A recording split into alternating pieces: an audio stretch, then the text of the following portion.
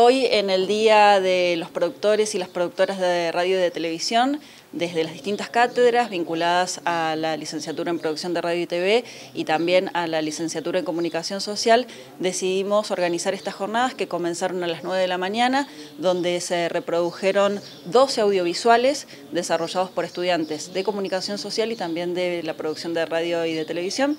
Así que a la tarde vamos a continuar con una jornada de exposición de profesionales que trabajan en distintos medios nacionales, así que bueno, realmente ha sido un placer poder ver el trabajo que han desarrollado los y las estudiantes durante este año. Son jornadas que también de alguna manera les siguen abriendo la puerta a aquellos futuros estudiantes, teniendo en cuenta eh, la oferta educativa que tiene la.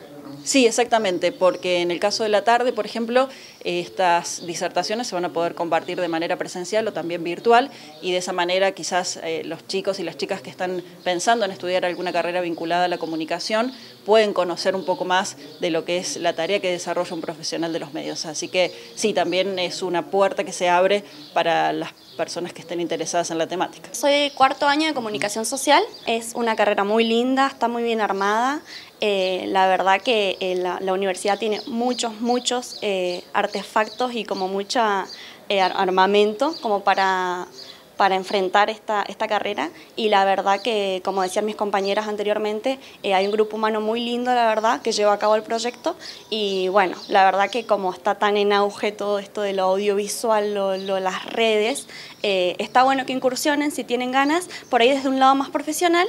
Y bueno, la verdad que es muy lindo. Nosotros lo que hicimos fue en marco del el trabajo práctico final de Televisión 2, que era hacer una especie de video o capaz bloque eh, de distintos programas. Nosotros decidimos enfocarlo más para el lado de YouTube, cosa de nuevas plataformas y por ese lado.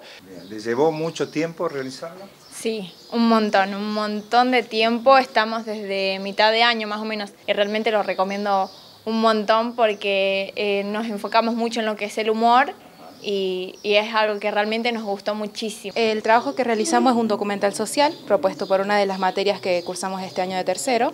Eh, trabajamos con una organización que se llama Activismo Disca.